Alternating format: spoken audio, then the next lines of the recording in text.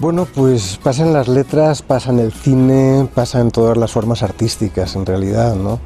Y porque sí, hablamos más o menos la misma lengua, eh, pero vivimos en mercados completamente separados. Pero no es ya solo España y Latinoamérica, sino me he dado cuenta entre los países de Latinoamérica.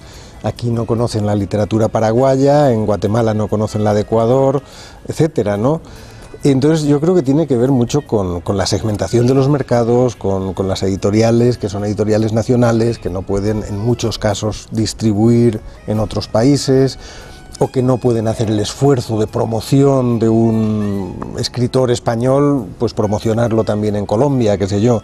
Si no tienen unas mínimas expectativas de beneficio, las editoriales no son ONGs, ¿no? Entonces no llevan a un autor español y, viceversa. Entonces es muy difícil conocerse, ¿no? Yo creo que el escritor no debe pararse en ningún sitio.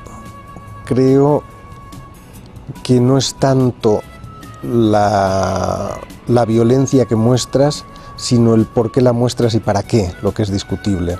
Quiero decir, hay una violencia espectacular. Bueno, yo la verdad es que dedico un ensayo, la ética de la crueldad, a este tipo de temas precisamente. Hay una violencia que nos da aquello que queremos, divertirnos. La violencia nos divierte, si no, no iríamos a ver a Tarantino, por ejemplo, a los hermanos Cohen, pensando en el cine. No leeríamos Meridiano de Sangre, a lo mejor, o qué sé yo. Tantas obras realmente violentas que dices, bueno, ¿por qué estoy viendo esto? Porque me divierte, tengo que reconocerlo, nos produce excitación, nos permite ver, pensar cosas que a lo mejor no nos atrevemos en la vida normal, pero no ese es el tipo de violencia que a mí me parece interesante. Bueno, lo puedes ver para entretenerte, lo mismo que puedes ver el fútbol para entretenerte, pero no te da más. Sin embargo, yo creo que en ciertos tipos de literatura hay una violencia, hay una crueldad que lo que hace no es complacer al espectador, sino agredirle. Poner en tela de juicio sus valores, cómo piensa, lo que le gusta, lo que desea, sacar a la luz sus deseos ocultos, esos que no quisiéramos que nadie conociese. Estoy pensando, qué sé yo, en, El Free de Jelinek, estoy pensando en Cormac McCarthy con Meridiano de Sangre, y otras violencias mucho más sutiles. No tiene que fluir la sangre para que una obra suponga una violencia para el lector me parece que El astillero de Onetti es una obra cruel y la trato en la ética de la crueldad porque es una obra que nos niega toda esperanza y que muestra una y otra vez nuestras imposturas. Entonces yo creo que esa literatura que nos agrede, corra o no la sangre, es una literatura que es interesante y a veces hay que llegar muy lejos, ¿no? Entonces, Kafka me parece que escribía en algún sitio que hay un punto en el que no hay marcha atrás y decía también hay que llegar necesariamente a ese punto. Bueno, pues yo creo que la literatura tiene que llegar a ese punto también. En cierta manera tenemos una visión obsoleta de Latinoamérica desde un punto de vista literario, porque sigue pesando enormemente la voz narrativa de, Vargas Llosa, de García Márquez, de, tantos otros, ¿no? de Rulfo, de Borges, de Cortázar. Mm, por eso yo cuando, cuando visito un país latinoamericano, una de las cosas que hago siempre es llevarme literatura de autores jóvenes. Voy a las librerías y digo, recomiéndame un autor, tres autores que estén vivos, que probablemente lo vayan a estar en los próximos 20 años, ¿no?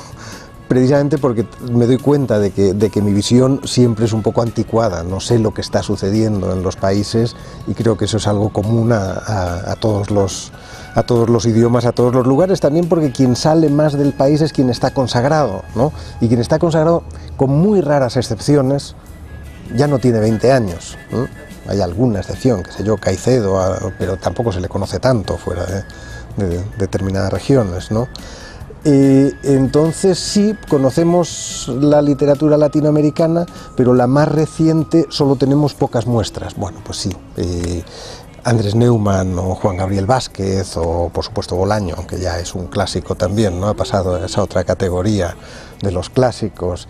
Hay algunos, mm, está pensando Fuguet, qué sé yo, que sí muestran que la literatura que se está haciendo ahora no tiene que ver, bueno, hasta cierto punto, con el boom, que es otra cosa, que ha intentado despegarse del boom, que ha intentado precisamente madurar rechazando buena parte de la herencia.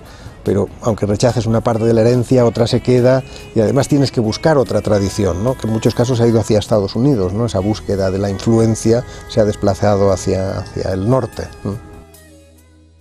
Yo creo que si lo que esperas es que editen bien tu libro, llegar a un número de lectores no muy elevado y tener una mínima atención de la prensa, creo que no es tan complicado. El problema es si quieres ser un autor famoso.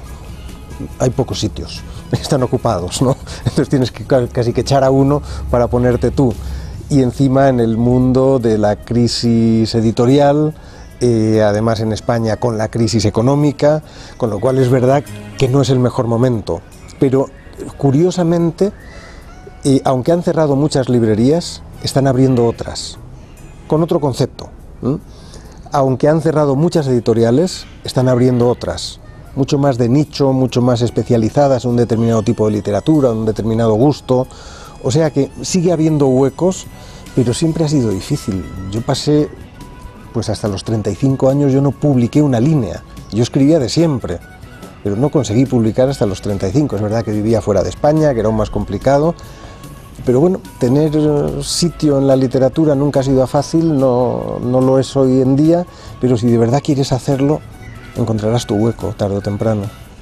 Que es muy difícil dar consejos, porque todos vivimos con, con, nuestros valores, con nuestros prejuicios.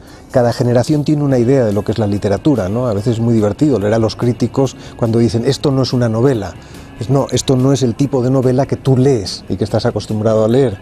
Entonces, la literatura de los jóvenes, casi por definición, tiene que hacer cosas que, aunque asuman parte de la tradición, vayan en contra de la tradición. Es decir, vayan en contra de cómo escribo yo. Con lo cual es muy difícil decirles, no, haz lo que yo he hecho. Lo que les digo fundamentalmente es, no, haz lo que tengas que hacer. Escucha la opinión de los demás, pero el autor eres tú y eres tú el que está creando un mundo y tú eres responsable de ese mundo. Entonces, si quieres escribir, crea ese mundo y escribe.